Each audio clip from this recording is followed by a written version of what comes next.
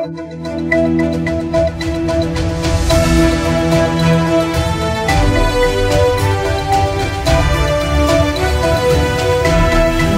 சக்தி சேனலின் புதுவையின் இன்றைய நிகழ்வுகள். புதுச்சேரி கால்நடை பராமரிப்பு மற்றும் கால்நடை நலத்துறை சார்பில் மூன்று நடமாடும் கால்நடை ஆம்புலன்ஸ்களை முதல்வர் ரங்கசாமி கொடியசைத்து துவக்கி வைத்தார். புதுச்சேரி அரசு கால்நடை பராமரிப்பு மற்றும் கால்நடை நலத்துறை சார்பில் மத்திய அரசின் கால்நடை நலம் மற்றும் நோய் கட்டுப்பாட்டு திட்டத்தின் கீழ் தலா ரூபாய் பதினாறு லட்சம் மதிப்பில் மூன்று நடமாடும் கால்நடை ஆம்புலன்ஸ்கள் வாங்கப்பட்டுள்ளன. இவற்றை முதல்வர் ரங்கசாமி சட்டசபை வளாகத்தில் கொடி அசைத்து துவக்கி வைத்தார். மாநிலத்தில் அனைத்து கிராம பகுதிகளுக்கும் சென்று கால்நடைகளுக்கு மருத்துவம் செய்யும் வகையிலான அனைத்து வசதிகளும் இந்த கால்நடை ஆம்புலன்ஸ் வாகனத்தில் அமைக்கப்பட்டுள்ளன. இதில் இரண்டு ஆம்புலன்ஸ் வாகனங்கள் புதுச்சேரி பிராந்தியத்திற்கும் ஒன்று காரைக்காலுக்கும் வழங்கப்பட்டுள்ளது. இந்த நிகழ்ச்சியில் சபாநாயகர் செல்வம் வேளாண் துறை அமைச்சர் தேனி ஜெயக்குமார் அமைச்சர் திருமுருகன் அரசு கொறடா ஆறுமுகம் பாஸ்கர் எம்எல்ஏ கால்நடை நலத்துறை இயக்குனர் லதா மங்கேஷ்கர் கலந்து கொண்டனர். புதுவையில் பல ஆண்டுகளுக்கு பிறகு உதவியாளர்களுக்கான பணியிடங்கள் நேரடி நியமன முறையில் நிரப்பப்பட உள்ளது. பட்டதாரி இளைஞர்களிடையே வரவேற்பை பெற்றுள்ளது. புதுச்சேரி அரசு நிர்வாக சீர்திருத்தத்துறை சார்பு செயலர் ஜெய்சங்கர் வெளியிட்டுள்ள செய்திக்குறிப்பில் குரூப் பி அரசிதழ் பதிவு இல்லாத உதவியாளர்கள் பணியிடங்களை போட்டித் தேர்வு மூலம் நேரடியாக நிரப்ப நிர்வாக சீர்திருத்தத்துறை முடிவு செய்துள்ளது. இது தொடர்பாக காலி பணியிட அறிவிப்பு கல்வி தகுதி தேர்வு நடக்கும் வழிமுறைகள் விண்ணப்ப படிவம் உள்ளிட்ட அனைத்து விவரங்களும் அரசு துறை இணையதளத்தில் வரும் இருபத்தி ஐந்தாம் தேதி திங்கட்கிழமை வெளியிடப்படும். எனவே வரும் இருபத்தி ஐந்தாம் தேதியிலிருந்து இணையதளம் மூலம் தகுதியானோர் விண்ணப்பிக்கலாம். வரும் ஏப்ரல் இருபத்தி நான்காம் தேதி வரை இணையதளத்தில் விண்ணப்பங்கள் வரவேற்கப்படும் என குறிப்பிடப்பட்டுள்ளது.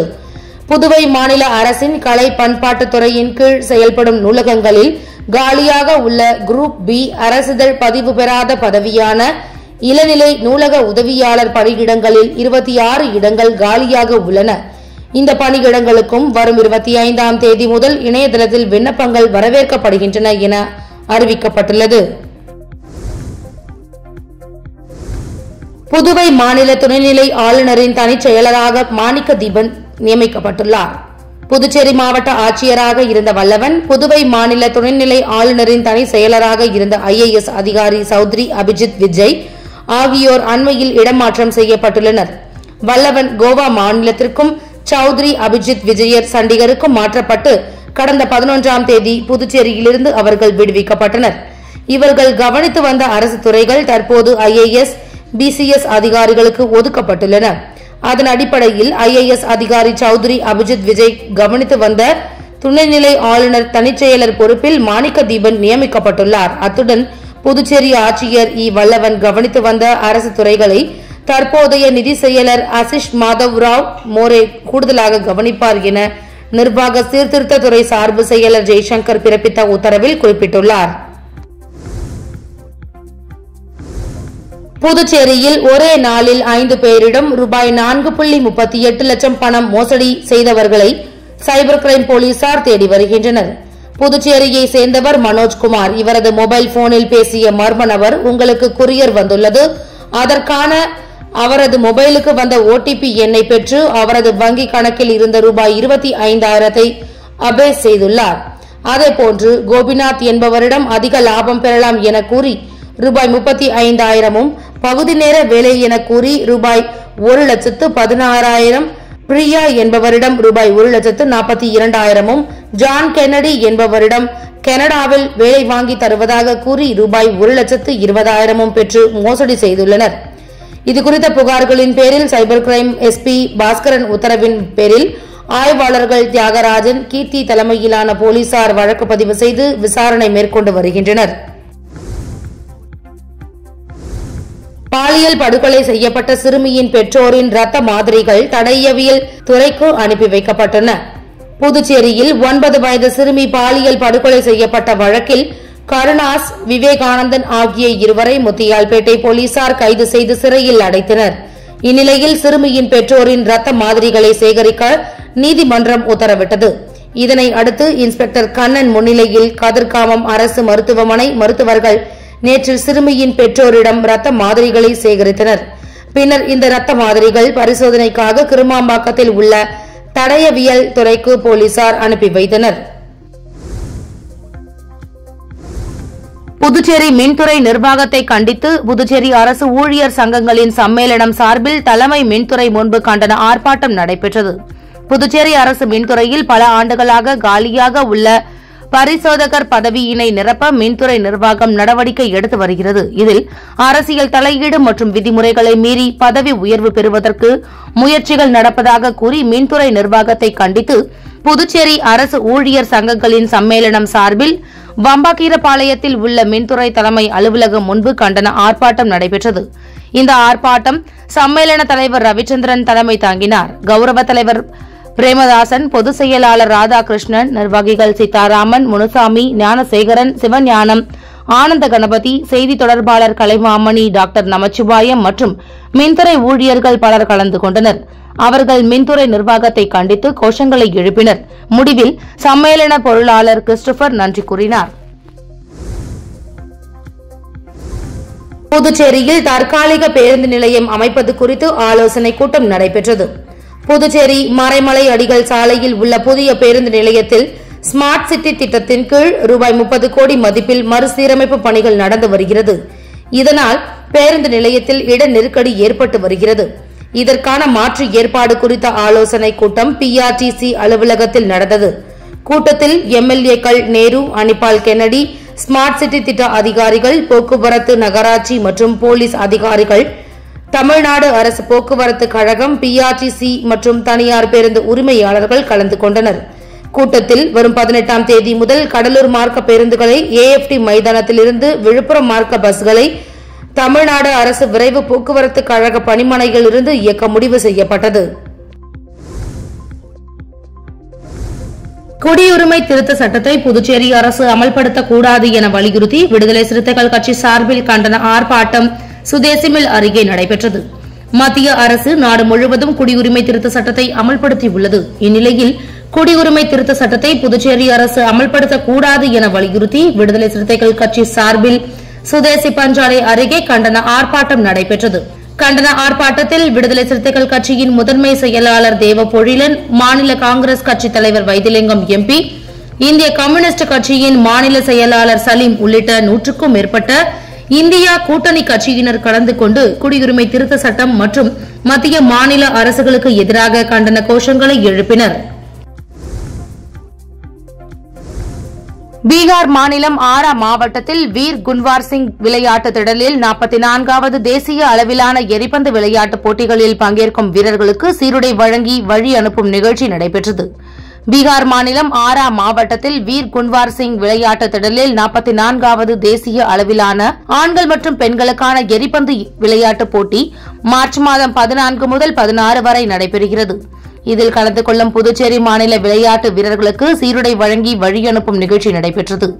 இதில் சிறப்பு அழைப்பாளராக புதுச்சேரி ஸ்ரீ வெங்கடேஸ்வரா மருத்துவக் கல்லூரியின் chief operating officer doctor Vidya தொழில்நுட்ப கல்லூரியின் முதல்வர் doctor Pradeep Devaneyan dean doctor Jayaraman உடற்கல்வி இயக்குநர் குமரவேல் புதுச்சேரி எரிபந்து கழகத்தின் சேர்மன் தலைவர் துணைத் தலைவர் ஆந்தோனிசாமி செயலாளர் நாராயணசாமி மற்றும் கழக உறுப்பினர்கள் கலந்து கொண்டு விளையாட்டு வீரர்களுக்கு வாழ்த்துக்களை கூறி வழி அனுப்பி வைத்தனர். தொண்டமாநத்தம் அன்சாரி துரைசாமி அரசு மேல்நிலைப் பள்ளியில் மாணவிகளுக்கான தற்காப்பு கலை பயிற்சி நிறைவு விழா நடைபெற்றது. புதுவை மாநிலம் தொண்டமானத்தம் அன்சாரி துரைசாமி அரசு மேல்நிலைப் பள்ளியில் மாணவிகளுக்கான தற்காப்பு கலை பயிற்சி நிறைவு விழா நடைபெற்றது. இந்த விழாவிற்கு பள்ளியின் தலைமை ஆசிரியர் பொறுப்பாசிரியர் மற்றும் விரிவுரையாளர் மனோன்மணி தலைமை தாங்கினார். தமிழ் ஆசிரியை கலைவாணி வரவேற்புரையாற்றினார். மாணவிகளுக்கான தற்காப்பு கலை பயிற்சி பொறுப்பாசிரியர் கணித ஆசிரியை ஜெகன் நாயகி தற்காப்பு கலை திட்டங்களை பற்றி எடுத்து விளக்கினார். ஆசிரியை அன்புமதி நன்றி கூறினார். நிகழ்ச்சிகளை வரலாற்று ஆசிரியர் உதயகுமார் தொகுத்து வழங்கினார். பயிற்சி பெற்ற மாணவிகளுக்கு பரிசுகளும் சான்றிதழ்களும் வழங்கப்பட்டன. மேலும் மாணவிகளின் தற்காப்பு கலை பயிற்சி செய்து காட்டப்பட்டது. பயிற்சி பெற்ற மாணவிகளுக்கு பள்ளியில் பொறுப்பு ஆசிரியை மனோன்மணி சான்றிதழை வழங்கி வாழ்த்துரைகளை தெரிவித்தார். நிகழ்ச்சிக்கான ஏற்பாடுகளை விரிவுரையாளர் மணிகண்டன் கணித விரிவுரையாளர் கவிதா உடற்கல்வி ஆசிரியர் ரகு அறிவியல் ஆசிரியர் மகாதேவன் ஆங்கில ஆசிரியர் அனிதா மேரி ஆகியோர் செய்திருந்தனர். காமராஜர் நகர் தொகுதிக்குட்பட்ட கெனடி கார்டன் பகுதியில் ரூபாய் பத்து லட்சம் மதிப்பிலான தார் சாலை அமைக்கும் பணியினை முதல்வரின் பாராளுமன்ற செயலர் ஜான்குமார் எம்எல்ஏ பூமி பூஜை செய்து தொடங்கி வைத்தார். புதுச்சேரி காமராஜர் நகர் தொகுதிக்குட்பட்ட கெனடி கார்டன் பீஷ்மர் தெருவில் தொகுதி சட்டமன்ற உறுப்பினர் நிதியிலிருந்து ரூபாய் பத்து லட்சம் மதிப்பில் தார் சாலை அமைக்கும் பணியின் துவக்க விழா இன்று நடைபெற்றது. விழாவில் முதலமைச்சர் பாராளுமன்ற செயலரும் தொகுதி சட்டமன்ற உறுப்பினருமான ஜான்குமார் தலைமை தாங்கி பூமி பூஜை செய்து பணியினை தொடங்கி வைத்தார். மேலும் விரைந்து பணிகளை முடிக்குமாறு அதிகாரிகளை வலியுறுத்தினார். இந்த நிகழ்ச்சியில் உழவர்கரை நகராட்சி ஆணையர் சுரேஷ்ராஜ் செயற்பொறியாளர் உதவி பொறியாளர் மற்றும் தொகுதி பாஜக நிர்வாகிகள் உட்பட அப்பகுதி மக்கள் திரளாக கலந்து கொண்டனர். காரைக்கால் மாவட்டத்தில் எழுபத்தி ஒன்பது ஐஆர்பிஎன் போலீசாருக்கு உதவி ஆய்வாளர்களாக பதவி உயர்வு வழங்கப்பட்டுள்ளது. புதுச்சேரி மாநிலத்தில் ஐஆர்பிஎன் போலீசார் காவல் நிலையம் பணிகள் தவிர மற்ற அனைத்து பணிகளையும் தொடர்ந்து செய்து வருமாறு இவர்களுக்கு பதவி உயர்வு வழங்கப்படாமல் இருந்து வந்த நிலையில் தற்போது மாநிலம் முழுவதும் உள்ள ஐஆர்பிஎன் போலீசாருக்கு பதவி உயர்வு வழங்க முடிவு எடுக்கப்பட்டு இருபது ஆண்டுகள் பணி முடித்த ஐஆர்பிஎன் போலீசாருக்கு துணை உதவி ஆய்வாளர் பதவி உயர்வு அளிக்கப்பட்டுள்ளது. பதவி உயர்வு ஏற்பட்ட அனைத்து ஐஆர்பிஎன் காவலர்களுக்கு ஒரு நட்சத்திர குறியீட்டை ஐஆர்பிஎன் கமாண்டர் ஸ்வாதி சிங் மற்றும் காரைக்கால் மாவட்டம் முதுநிலை காவல் கண்காணிப்பாளர் மணிஷ் ஆகியோர் கௌரவித்தனர். இந்நிகழ்ச்சியில் காரைக்கால் மாவட்ட காவல் கண்காணிப்பாளர்கள் சுப்பிரமணியன் பாலச்சந்தர் உள்ளிட்ட ஏராளமான ஐஆர்பிஎன் காவலர்கள் கலந்து கொண்டனர். அரசு பேருந்தில் பெண்களுக்கு இலவசம் என அறிவித்த முதல்வர் ரங்கசாமி முதலில் அரசு பேருந்துகளை இயக்க வேண்டும் என முன்னாள் முதலமைச்சர் நாராயணசாமி விமர்சனம் செய்துள்ளார். காரைக்கால் மாவட்ட காங்கிரஸ் கட்சியின் தலைவர் சந்திரமோகன் பிறந்த நாள் விழா இன்று காரைக்காலில் உள்ள தனியார் அரங்கில் நடைபெற்றது. இவ்விழாவில் கலந்து கொண்டு பேசிய புதுச்சேரி மாநில முன்னாள் முதலமைச்சர் நாராயணசாமி புதுச்சேரி தற்போது ஆளும் என்ஆர் காங்கிரஸ் பாஜக கூட்டணி அரசால் பொய்யான வாக்குறுதிகளே அளிக்கப்பட்டு எந்த ஒரு திட்டமும் செயல்படுத்த முடியாது. அரசாக இருந்து வருவதாகவும் சமீபத்தில் புதுச்சேரியில் ஒன்பது வயது சிறுமி கடத்தி கொலை செய்யப்பட்ட சம்பவத்தில் புதுச்சேரி அரசு எந்தவித நடவடிக்கையும் எடுக்கவில்லை எனவும் குற்றம் சாட்டினார். அந்த கொலை சம்பவத்தில் ஈடுபட்ட முக்கிய குற்றவாளிகள் முன்னாள் ஆர் எஸ் எஸ் நிர்வாகிகள் எனவும் அவர் பகிரங்கமாக குற்றம் சாட்டியுள்ளார். புதுச்சேரி அரசு நடவடிக்கை எடுக்க தாமதிப்பதற்கு இதுவே காரணம் எனவும் அவர் தெரிவித்துள்ளார். என்ஆர் காங்கிரஸ் பாஜக அரசு அரசு பேருந்தில் பெண்களுக்கு இலவசம் என அறிவித்தால் மட்டும் போதாது. பேருந்துகளை இயக்க வேண்டும். பேருந்துகளே இயக்காமல் பெண்களுக்கு இலவசமாக அறிவித்தது நகைப்பிற்குரியது என்று விமர்சித்தார். எல்லை தாண்டி மீன் பிடித்ததாக இலங்கை கடற்படையினர் காரைக்கால் மீனவர்கள் பதினைந்து பேரை கைது செய்துள்ள சம்பவம் பரபரப்பை ஏற்படுத்தியுள்ளது. புதுச்சேரி மாநிலம் காரைக்கால் மாவட்ட மீன்பிடி துறைமுகத்திலிருந்து காரைக்கால் கிளிச்சிஞ்சல்மேடு கிராமத்தை சேர்ந்த ஜெயமதி என்பவருக்கு சொந்தமான விசைப்படகு மூலம் கடந்த பதிமூன்றாம் தேதி காரைக்கால் மாவட்டத்தை சேர்ந்த பதிமூன்று மீனவர்கள் மற்றும் மயிலாடுதுறை மாவட்டத்தை சேர்ந்த இரண்டு மீனவர்களான மொத்தம் பதினைந்து மீனவர்கள் மீன்பிடிக்க சென்றனர். இந்நிலையில் இன்று அதிகாலை எல்லை தாண்டி மீன் பிடித்ததாக கூறி பதினைந்து மீனவர்களை இலங்கை கடற்படையினர் கைது செய்தனர். இந்நிலையில் கைது செய்த மீனவர்கள் மற்றும் விசைப்படகை விடுவிக்க வேண்டும் என்று மீனவர்களின் உறவினர்கள் மத்திய மாநில அரசுகளுக்கு கோரிக்கை வைத்துள்ளனர். மேலும் தங்களது மீனவர்கள் மற்றும் படகுகளை விடுவிக்கவில்லை என்றால் வருகின்ற பாராளுமன்ற தேர்தலை புறக்கணிக்கப் போவதாக மீனவ பெண்கள் தெரிவித்துள்ளனர். புதுச்சேரி முத்தியால்பேட்டை பகுதியில் அமைந்துள்ள ஸ்ரீ முத்துமாரியம்மன் முத்தையா சுவாமி திருக்கோவிலின் பங்குனி உத்திர பெருவிழாவை ஒட்டி துவாஜரோகணம் என்ற கொடியேற்ற விழா நடைபெற்றது. புதுச்சேரி முத்தியால்பேட்டை பகுதியில் எழுந்தருளி உள்ளது ஸ்ரீ முத்துமாரியம்மன் முத்தையா சுவாமி திருக்கோவில். இந்த திருக்கோவிலில் பங்குனி உத்திர பெருவிழா நேற்று மாலை விக்னேஸ்வர பூஜையுடன் தொடங்கியது. இன்று காலை யாகசாலையுடன் துவாஜரோகணம் என்ற கொடியேற்றம் நடைபெற்றது. கொடிமரத்திற்கு மலர்களால் பூஜை செய்யப்பட்டு சேவல் கொடியை ஏற்றி தீபாராதனை காட்டப்பட்டு சோடச ஆராதனைகள் நடைபெற்றது. பங்குனி உத்தர திருவிழாவானது தினந்தோறும் இரவு வாகன சேவையுடன் வெள்ளிக்கிழமை ஒன்பதாம் தேதி திரு கல்யாணத்துடன் சனிக்கிழமை பத்தாம் தேதி திரு தேரோட்டம் நடைபெறும் என கோவில் சார்பில் தெரிவிக்கப்பட்டுள்ளது. கொடியேற்ற விழாவை ஒட்டி முத்தையா சுவாமி பொதுமக்கள் வழிபட்டு சென்றனர். வில்லியனூர் அருள்மிகு கோகிலாம்பிகை உடனுரை திருக்காமேஸ்வரர் திருக்கோவிலில் அமைந்துள்ள ஐயப்பன் சுவாமிக்கு அபிஷேக ஆராதனைகள் நடைபெற்றது. புதுச்சேரி மாநிலம் வில்லியனூர் பகுதியில் அமைந்துள்ள அருள்மிகு கோகிலாம்பிகை உடனுரை திருக்காமேஸ்வரர் திருக்கோவிலில் அமைந்துள்ள ஐயப்பன் சுவாமிக்கு மாதந்தோறும் தமிழ் மாதத்தின் முதல் தேதியில் அபிஷேக ஆராதனைகள் நடைபெறுவது வழக்கம். அதன் ஒரு பகுதியாக நேற்று பங்குனி முதல் தேதியில் ஐயப்பன் சுவாமிக்கு அபிஷேக ஆராதனைகள் நடைபெற்றது. அதனைத் தொடர்ந்து பதினெட்டு படிகளிலும் பூஜை செய்து ஐயப்பன் சுவாமிக்கு மகா தீபாரதனை காட்டப்பட்டது. இந்நிகழ்ச்சியில் உபயதாரர்கள் தட்சிணாமூர்த்தி மற்றும் கிரி குடும்பத்தினர்கள் சிறப்பான முறையில் செய்திருந்தனர். இதில் திரளான பக்தர்கள் கலந்து கொண்டு சுவாமி தரிசனம் செய்தனர். இதனைத் தொடர்ந்து பூஜையில் கலந்து கொண்ட அனைத்து பக்தர்களுக்கும் அன்னதானம் வழங்கப்பட்டது. காரைக்கால் ஸ்ரீ கைலாசநாத சுவாமி ஆலய பங்குனி மாத பிரம்மோற்சவ தேர் மற்றும் தெப்பத் திருவிழாவிற்கான கொடியேற்றம் வெகு விமர்சையாக நடைபெற்றது. புதுச்சேரி மாநிலம் காரைக்காலில் அமைந்துள்ளது. பிரசித்தி பெற்ற அருள்மிகு ஸ்ரீ சுந்தராம்பாள் சமேத ஸ்ரீ கைலாசநாதர் சுவாமி தேவஸ்தானம்.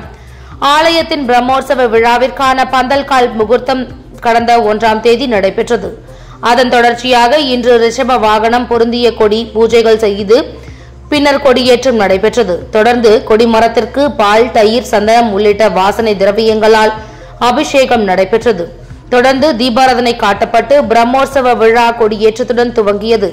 இருபத்தி மூன்றாம் தேதி பெரிய தேரோட்டம் நடைபெறுகிறது. இருபத்தி ஆறாம் தேதி தெப்பல் உற்சவமும் நடைபெறும் என அக்கோவில் நிர்வாகத்தினர் தெரிவித்தனர். இத்துடன் சக்தி சேனலின் புதுவையின் இன்றைய நிகழ்வுகள் முடிவடைகின்றன. வணக்கம். உங்கள் சக்தி சேனலின் புதுவையின் அன்றாட நிகழ்வுகளை உடனுக்குடன் தெரிந்து கொள்ள சக்தி சேனல் புதுச்சேரி யூடியூப் சேனலை சப்ஸ்கிரைப் செய்து கொள்ளுங்கள். மறக்காமல் பெல் பட்டனையும் கிளிக் பண்ணுங்க. ஷேர் பண்ணுங்க லைக் பண்ணுங்க. உங்கள் சக்தி சேனல்.